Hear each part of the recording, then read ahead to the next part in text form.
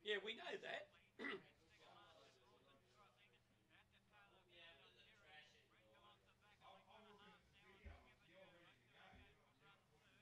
That's right. Good on you, Kay. Get into him.